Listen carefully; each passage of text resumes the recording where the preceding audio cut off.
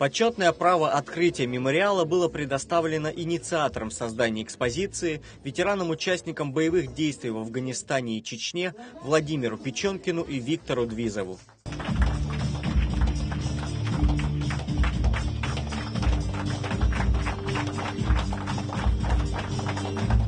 Открытие мемориала, приуроченное ко Дню памяти о россиянах, исполняющих служебный долг за пределами Отечества, состоялось в школе, где учились Вадим Турбин и Игорь Тулупов, где еще мальчишками бегали по коридорам и не задумывались, что придет время, и они по приказу Родины будут выполнять интернациональный долг в Республике Афганистан. Такие мероприятия, они возвращают нас в ту действительность, в которой, собственно, мы живем.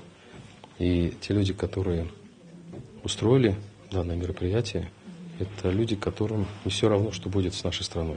На мероприятии присутствовала мать Игоря Тулупова. В ее адрес прозвучали слова благодарности и гордости за подвиг сына. От всей души желаем вам здоровья и крепости духа. Мы помним и гордимся вместе с вами.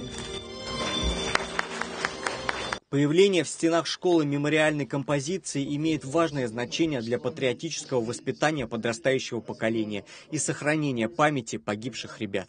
Подрастающее поколение на примере их подвига, вечного подвига, проходя мимо этой мемориальной доски, будет помнить о том, что они не просто отдали свою жизнь, а во имя кого и ради кого.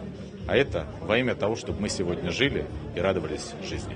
Герои с честью выполнили свой долг и стали примером мужества и отваги для будущих защитников Отечества. Вадим Турбин и Игорь Тулупов были награждены орденами Красной Звезды посмертно. Алексей Мельников, Алексей Руднев, Ольга Садовская. Видное ТВ.